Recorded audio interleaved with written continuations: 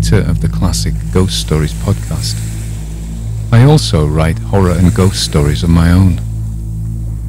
I'm inspired by the landscapes and the legends of the place I live and the places I visit, but also by the tales of the writers who've gone before me. You can hear my taste in the stories I read out on the podcast. I read stories by such writers as Bram Stoker, Conan Doyle, M.R. James, E.F. Benson, Lovecraft, and Edgar Allan Poe.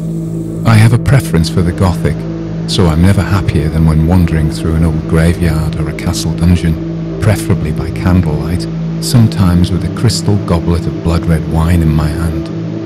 I like stories that conjure a place and re-enchant the ordinary. We have got so used to places being drained of their magic that I want my stories to re-magic our surroundings and bring back a touch of supernatural wonder to our everyday experience. That's why I love the gathering gloom of the end of the year, with Halloween and the comforting darkness of midwinter, with its fires and fireworks and fairy lights.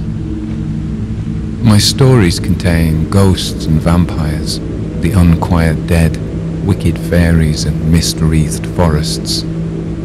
If you want a touch of the Gothic and a slight feeling of unease, check out my stories, either to listen to or to read for yourself. Either way, get ready to